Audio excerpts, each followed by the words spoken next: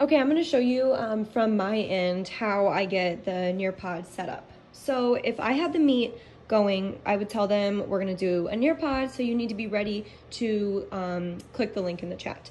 So I have the meet going, I have Nearpod open, I'll give you my password for this, and then you click the one that you need, which is Friday Math 12 for. You click live participation, the one I just clicked. And then this will pop up. You will click link, copy. You'll go back to the meet, You'll click to put the link in the chat and then they will click on the link. So you'll have your screen just held here with the Nearpod and then you will also go click on the link. And then for this part, they're gonna, they, they know by now, but they um, have the uh, the two boxes and I tell them just put your nickname. I let them do a nickname. They all have like pretty much the same nickname they use, um, but it has to have their real name in it. So yes, you can have a nickname, but it has to have your real name in it. Um, like Cameron will do like Cam Truemoo, and that's fine. So um, yeah, first name here, just leave this box blank, and then they click join lesson. They have to click join lesson, and then while you're so then you're gonna be in the Nearpod as well.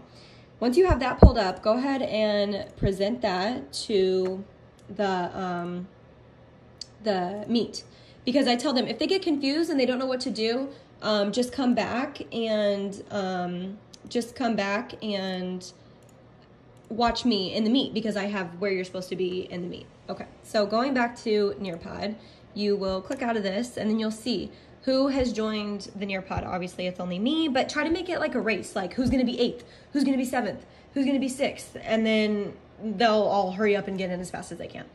And then once everybody's in, just do a quick head count. Once everybody's in, you will just click next. And then as you can see on the meet, it's going along with me. And then sometimes it kicks them out of the Nearpod. Just have them click the link and come right back in.